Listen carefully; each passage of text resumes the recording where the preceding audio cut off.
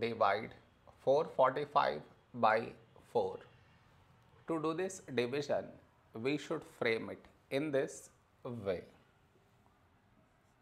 445 here, 4 here. This is your step 1. Next. Here we have 4, here 4. When do we get 4? In 4 table, 4 ones 4. Now we should subtract, we get 0. After this, bring down the beside number. So 4 down, so 4. When do we get 4? In 4 table, 4 ones 4. Now we subtract, we get 0.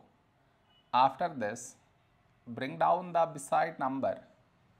So 5 down, so 5. A number close to 5 in 4 table is 4 ones 4. Now we subtract, we get 1. After this, no more numbers to bring it down. So we stop here. This is our remainder, this is our quotient.